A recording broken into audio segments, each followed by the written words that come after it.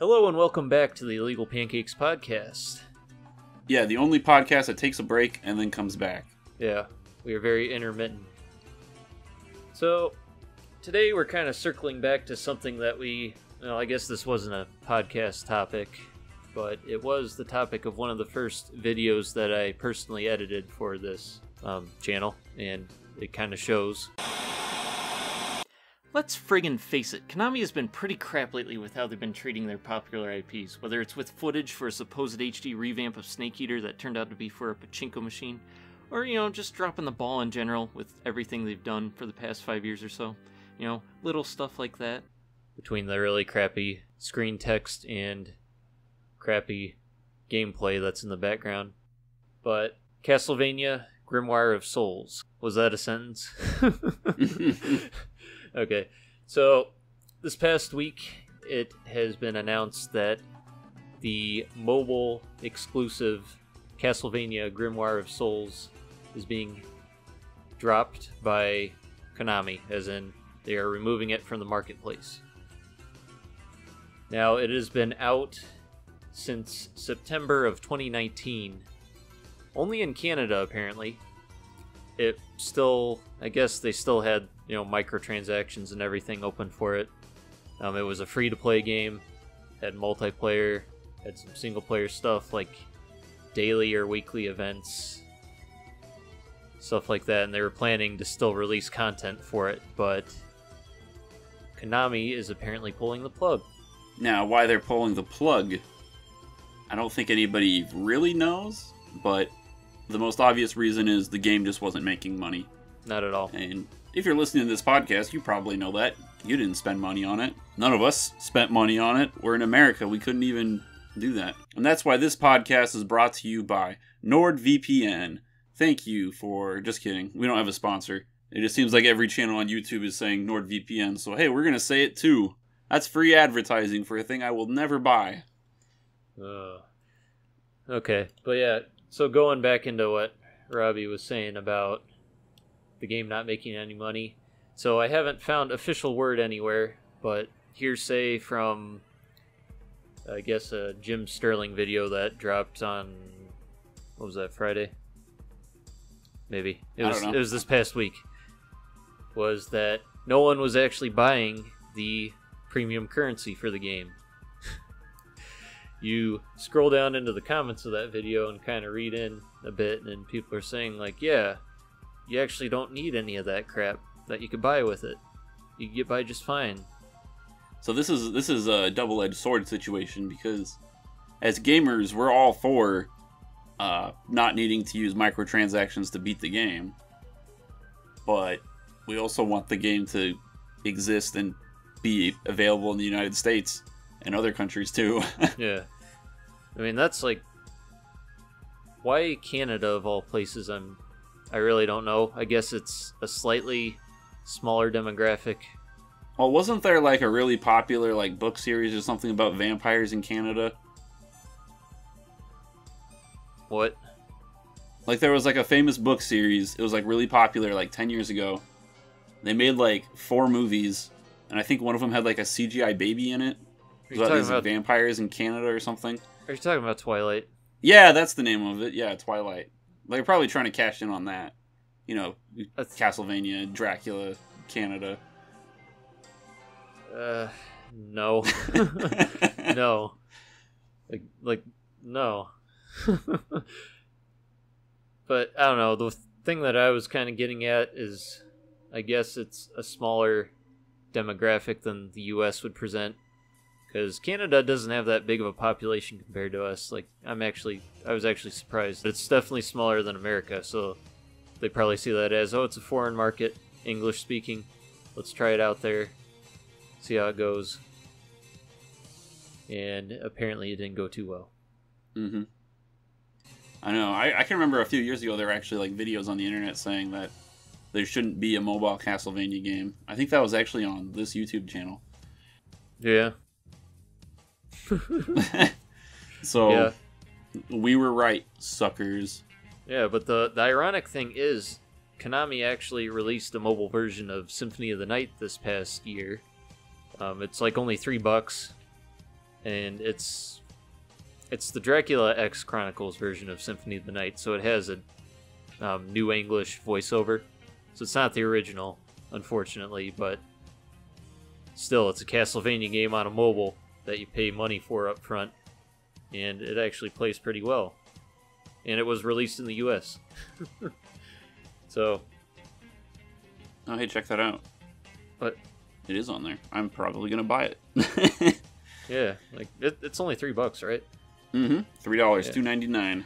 Yeah, pretty dang cheap. So you know, maybe maybe if Castlevania or Konami, I mean, wanted Gr- Grimoire of Souls to do well, they would just would have gotten rid of microtransactions and just had a flat rate price for the front of it. Yeah, I mean, So- I would have been fine with that, even if it was like a little bit more pricey than like normal. Mm-hmm. That'd be fine if they had the microtransactions like tacked on in addition to that. I don't know. Like, I mean, if they're still gonna be pointless, like they were for the soft release, like, nah, just get rid of them entirely. But yeah, like if they were actually useful or if they did something important, people are still present presented with the option. Yeah, I don't know. Paying money up front is probably enough money to give Konami. That's all I they deserve at this point. Yeah, like barely that. So yep, they're pulling the plug approximately a year after it was dropped in Canada, which is kind of unfortunate, but at the same time, another sort of related series is kind of on the upswing. So just yesterday on July 10th, Inti Creates dropped Bloodstained Curse of the Moon 2.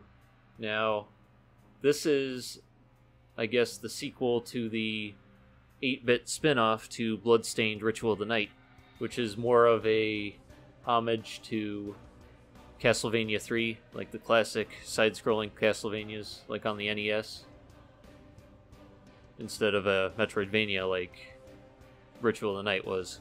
So if you are a fan of the Metroidvania, Castlevania, vampire killing, Twilight loving uh, game series, do not be in despair because of the failure of Grimoire of Souls, because Bloodstained is going to take its place and probably be better. So yeah, it sound it seems like Curse of the Moon 2 is getting pretty decent reviews. A couple of people are upset that they can't actually play the game, so there's probably some annoying day one glitches with it. But I mean that's kind of expected. They kind of crapped this thing out pretty quickly. Like I only heard about it like a week or two ago, and then it was out. it's like a Netflix show. Yeah, it's creepy. But yeah, like compared to the original, it's got new player characters. I think the total is up to seven or eight now. Oh wow! Does the original Yeah. only had like what, like four? Yeah, four. You had Zangetsu, the samurai. Um, then you had Miriam, who is the protagonist, or I should say, main playable character of Ritual of the Night. Alfred, an alchemist wizard guy, I guess, who's kind of the replacement for Sypha. And then Gebel, Gebel, I forget how it's pronounced, who is a replacement for Alucard. But now they've added three more characters. Um, one of them is Dominique, who was the shopkeeper in Ritual of the Night. Now she's some sort of like sphere, or not sphere, spear wielder. Uh, there's this, what I think is a dog in a steampunk esque mech suit called Hachi. Okay, getting a little more creative with its characters. Yeah, I think it's supposed to be a dog in the suit because that's what his character icon looks like. It's just a little dog face, like a little um oh, what are those called? You know, the Doge face dog. Oh yeah, what type of dog is that? I don't know. Yeah, I forget. But yeah, like his uh So it's definitely Is- not a werewolf. no, no, it like his sprite looks like a little steam engine with feet and arms. Okay. Yeah, and then the third is a guy called Robert who Definitely approve like of a- the name. Yeah, who uh is like a gun wielder, a gunfighter, gunslinger. that definitely does. That that sounds like me, even though I don't own any guns. Yeah, I shouldn't say gun- gunslinger because I think he has like a flintlock pistol. But yeah, Mm-hmm. it's kind of funny. Um, his like design reminds me a lot of Doctor Baldhead from the original Guilty Gear. Like it's almost one hundred percent exact. It's creepy. So yeah, um, I haven't played the original Curse of the Moon, so I'll probably be checking this out later. It looks fun. Hopefully, I don't have any problems with glitches or whatever when I do. But I'm glad they're um, still creating games. It's like people still want Castlevania S games, and at least someone's delivering on that. Yeah. Always We'll good. let Konami make the Castlevania animes, and then what is it? Bloodstain can make the games, I don't think Konami's even involved in the anime. which is probably why it's so good. Yeah. Oh. All right. So, is there anything else we want to talk about? I think that wraps it up. All right. Short video. We are still alive, but just we're we're busy. almost not. yeah, we've Oh been yeah, busy. yeah. Yep. There should be two actual like full made hardcore metal videos coming up eventually. But I'm in the middle of my most ambitious video so far for the channel. So it'll it'll still be a while before I finish that cuz I'm really trying to make it look nice and polished. And we've also been neglecting to actually watch the live action Uzumaki film to review before the anime comes out. We still don't know when it's coming out. We should know by July though. Well, by the end of July, I mean. Okay, I was gonna say it's already July. Yeah. so hopefully we'll get that pumped out before the month ends. Okay. It shouldn't be hard to do. Yep. And hopefully it won't be as much of a train wreck as this was. I like this. This is fun. yeah, I know. All right. Well, let's close off the podcast. Thank you so much for listening and to making making it to this point in the podcast. If you did listen all the way through, comment chariots in the comments and then put a comment for something you'd like us to talk about. We're all we're all open to ears right now, you know, because I mean there's not really anything else going on besides games getting canceled. So hit us up with those comments. We'll listen, we'll read them. See you then. Bye. Eh.